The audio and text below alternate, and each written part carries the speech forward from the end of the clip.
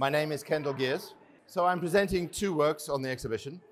Uh, there's the mirror, which is uh, a mirror with the words, Here lies truth in burned wood.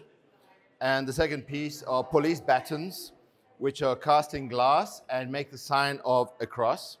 So the, the, the batons speak about the, the relationship between church and state and how fear gets manufactured and how we succumb to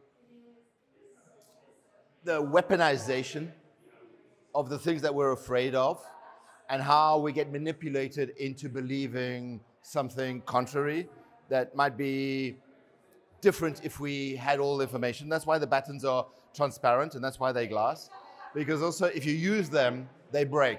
So it speaks about the fragility of faith. It speaks about the fragility of power.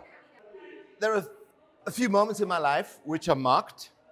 I think we all remember where we were when um, the World Trade Center came down.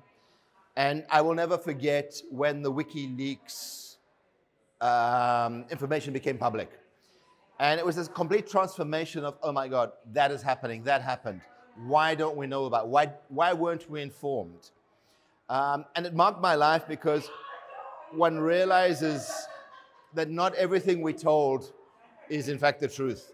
That's why here lies truth is like the tombstone of the truth. I have said many times in various articles and interviews that the ability to speak is biological. The right to speak is political. And having something to say, well, that's, that's, that's the role of artists, that's cultural. And I think that the case of Julian Assange is he's been denied the right to speak.